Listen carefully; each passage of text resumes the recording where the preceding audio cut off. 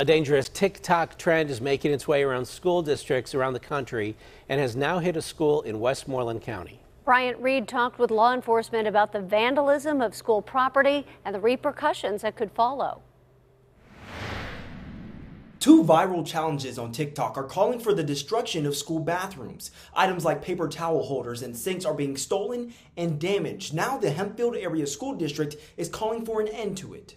At Hempfield Area Senior High School, two sophomore girls are being investigated for damaging the bathroom.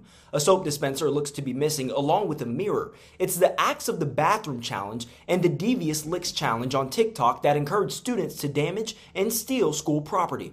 The school sent a letter to parents today describing the challenges and saying anybody guilty will be prosecuted to the fullest extent. Law enforcement says they're trying to put an end to this. If you commit a crime like this, there's a chance that you, it's going to end up on your record. And now you're going to be eventually trying to get a job somewhere, and you might have an institutional vandalism charge on your record, and you have to explain that to an employer why you were doing something. You know, it's just it's not a good idea all the way around, and that's why we're taking a zero tolerance policy towards this. I hope parents take this time and realize we're not here to persecute anybody.